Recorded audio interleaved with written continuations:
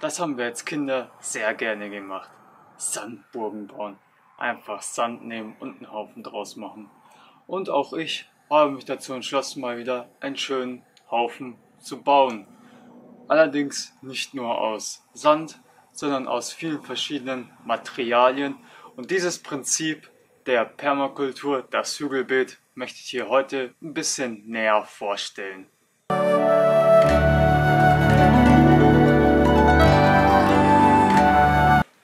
Ja, das Hügelbild. Ich habe mich jetzt in den letzten Wochen und Monaten dran gesetzt, um das Hügelbild zu bauen. War ziemlich aufwendig, aber ich möchte euch einfach in dem Video erläutern, ja, wie ein Hügelbild aufgebaut ist, welche Vor- und Nachteile es hat und was man eigentlich allgemein so ein bisschen beachten sollte. Also ganz allgemein zum Aufbau ist, dass man beim Hügelbild normalerweise, wenn man es übrig hat, Karton auslegt, also Kartonagen, damit halt das ähm, ja, äh, unten, also das äh, Gras oder die Fläche, an dem ihr das Hügelbeet anlegt, schon mal kurz ähm, ja, ähm, kompostiert wird sozusagen, also verrottet und dadurch durch den Karton wird zum Beispiel auch die Flüssigkeit ähm, ähm, aufgesogen und aufgehalten. Das heißt, dass das Hügelbeet dann auch ständig feucht bleibt. Wenn man das nicht macht, dann sollte man auf der ersten Schicht ähm, die Holzstämme oder die Hol dickeren Holzäste so gut nebeneinander legen, dass ähm, wirklich auch keine Zwischenräume platzen und eventuell auch die kleinen Zwischenräume mit Holzabfällen ähm, ja, auffüllen.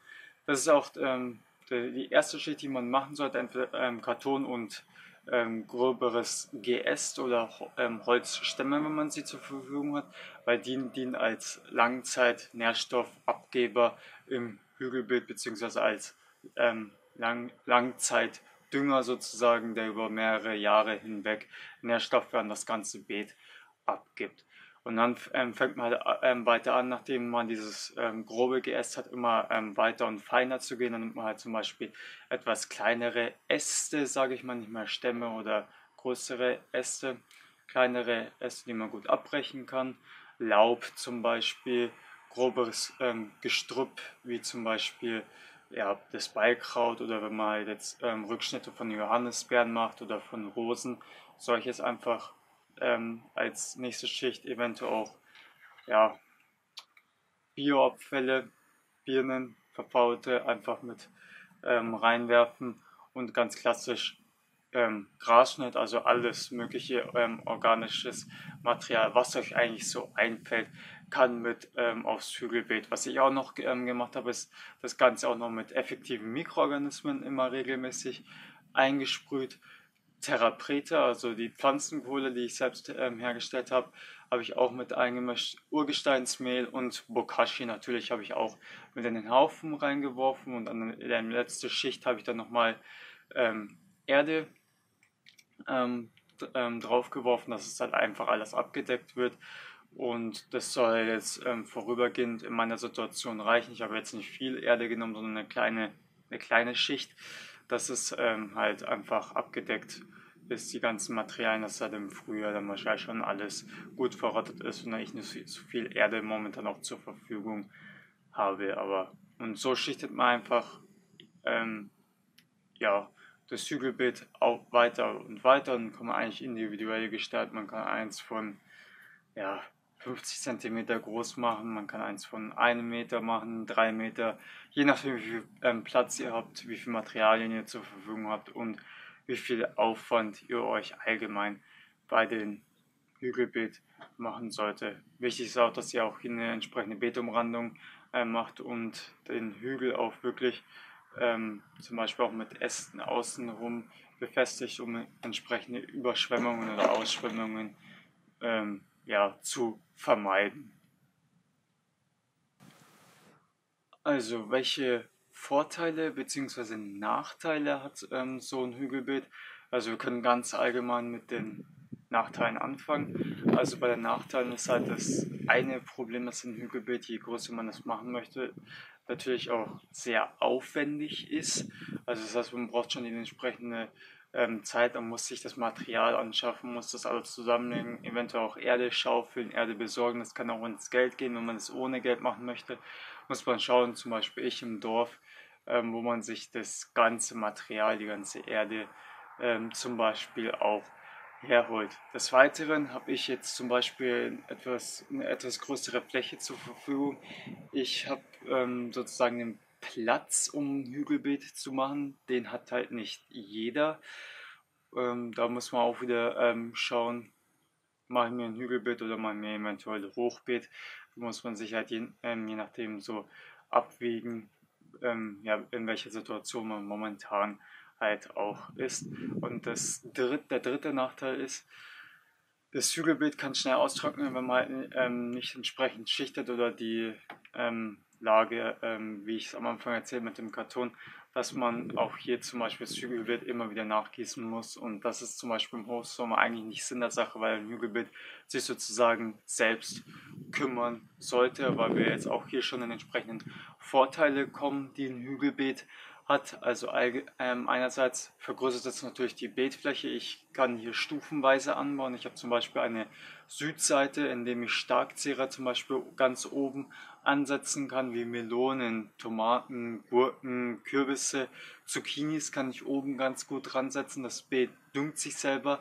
Die ähm, Pflanzen haben es dementsprechend eine gute, diese Starkzehrer eine gute Nährstoffversorgung und können auch hier ähm, gut wachsen, vor allem weil aufgrund der erhöhten Lage auch die ähm, Pflanzen es schön warm haben und ähm, ich nicht viel gießen muss. Das heißt, die komplette Versorgung der Pflanzen ist halt auch optimal und ich habe es auch deswegen ähm, angerichtet, weil ich Melonen anbauen möchte. Ich bin Roh-Veganer, wie vielleicht eine, einige wissen und ich liebe Melonen. Melonen sind super. Deswegen habe ich jetzt einfach primär die Hügelbeete angebaut, um Melonen anzubauen. Aber wie gesagt, man hat eine Südseite, man hat natürlich auch eine entsprechende Nordseite, die man auch hier abstufen kann. Das heißt, man kann auch hier jetzt die etwas schattigere Lage verwenden, um zum Beispiel etwas weiter oben Starkzehrer wie zum Beispiel Mangold, der ein bisschen besser im Schatten gedeiht, anzubauen. Und das kann man dann auch wieder hier stufenweise runtersetzen, dass man dann an den untersten Schichten zum Beispiel Salate ähm, ansetzen kann oder auch Möhren an der Nordseite setzen kann. Die wachsen auch an einem Hügelbeet sehr gut und in dem Jahr hatte ich nicht so viel Erfolg mit den Möhren. Die möchte ich heute äh, das kommende, die kommende Saison auch dort anpflanzen und so kann man einfach ja, seine Kreativität freien Lauf lassen und die Abstufung sozusagen auf mehreren Ebenen anbauen und das natürlich auch gut ausnutzen. Das ist ein wesentlicher Vorteil eines Hügelbeetes. Das andere, wie ich schon bereits erwähnt habe, ist halt ein Langzeitdünger. Das heißt, dass das Hügelbeet für fünf Jahre eure, zum Beispiel eure Pflanzen mit Nährstoffen versorgt und ihr jetzt nicht da irgendwie Horn, ähm, Späne, Brennnesseljauch oder was auch immer mit einmischen müsst oder Urgesteinsmehl. Das Beet reguliert sich sozusagen von selber. Das waren jetzt so ziemlich oder beziehungsweise die wesentlichen Vor- und Nachteile, die mit einem Hügelbeet einhergehen. Wie gesagt, ich wollte es ausprobieren, weil ich das halt ein sehr schönes Prinzip der Permakultur finde, wie man jetzt zum Beispiel hier bei einem harten ähm, Lehmboden, den ich jetzt hier habe, ähm, trotzdem ja, Kulturpflanzen in seinem Garten anbauen kann. Ich werde euch dann nochmal kurz ähm, zeigen, wie das ähm, Einhügelbeet von mir jetzt ähm, ausschaut und ähm, wie ich es halt auch ein bisschen geplant habe. Okay, also hier könnt ihr jetzt mal die Vorderseite von dem Hügelbeet sehen. So, so lang und so hoch ist es jetzt ungefähr. Nach der Abschätzung, wie ihr auch hier sehen könnt, habe ich halt hier schon mal auf dem Hügelbild ein bisschen Erde aufgefüllt. In dem hinteren, hier hinten, habe ich es noch nicht gemacht. Da muss ich es noch machen. Aber hier habe ich halt ähm, das Material. Könnt ihr halt sehen, was ich verwendet habe hier. Also wirklich ganz normale Abschnitte. Hier überwiegend Laub und Grasschnitt. Was ich auch hier gemacht habe, ist, um ein bisschen die ähm, Ausschwemmung und die Wärme im Hügelbild zu halten, dass ich hier nochmal diese Dachziegeln ähm, als, Umrand, als Beetumrandung nochmal verwendet habe. da, wenn ich nochmal ein paar ähm, Steine organisiere, dass ich nochmal die Umrandung ein bisschen höher mache.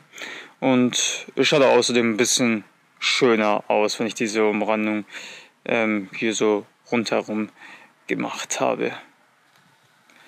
Ja, also wie gesagt, mehr zum Hügelbild kann ich euch eigentlich nicht erzählen. Es sollte einfach mal jeder selbst die Erfahrung machen und den Aufwand, wenn er Lust hat. Und in diesem Sinne, vielen Dank, dass ihr eingeschaltet habt. Ich würde mich freuen, wenn ihr das Video bewerten würdet, einen Kommentar hinterlasst, ob ihr schon mal ein Hügelbild angelegt habt und welche Erfahrungen ihr damit gemacht habt. Können wir einfach mal in den Kommentaren ein bisschen darüber reden.